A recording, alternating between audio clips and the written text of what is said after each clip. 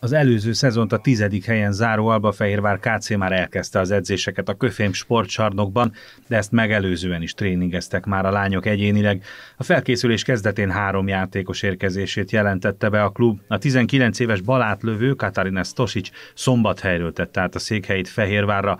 A Győrben nevelkedő Szemes Szonya jobb szélsőként vethető be, ahogy a horvát női kézilabda egyik ígéretes tehetsége, Bruna Zrinic is, aki hazája junior válogatottjával tavaly a hetedik helyen végzett az Európa-bajnokságon, Zrinicsa Buducsnoszt Podgoricától igazolt az Albába. Fejlődésem szempontjából ez egy jó lépcsőfok lesz számomra, és mivel egy fiatalos csapat, és nagyon szimpatikus edzők, stáb, ezért választottam a Székesfehérvárt. Józsa Krisztián vezetőedző elmondta, egy játékossal még tárgyalnak, de a keret a jelenlegi állapotában is elégséges a célok, azaz az 5.-8. hely eléréséhez. Szeretnénk a középmezőnynek stabil e, csapatává válni, azt gondolom, hogy ez egy ideális célkitűzés.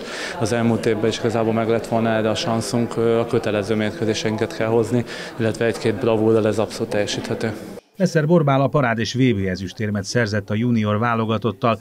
Jó hír, hogy továbbra is a fehérváriakat erősíti. Az elején nehéz volt közvetlen a mérkőzés után is az első pár nap, hogy elveszítettük a döntőt, de így majdnem két hét eltelt már azóta. Most már azt gondolom, hogy mindenki büszke erre az eredményre, és egy, azt gondolom, egy nagyon nagy dolgot vittünk véghez.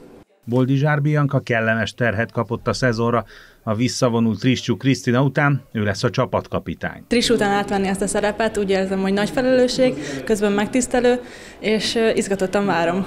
Szeretnénk a stabilan a középmezőnyben lenni, és jobb helyezést elérni, mint tavaly.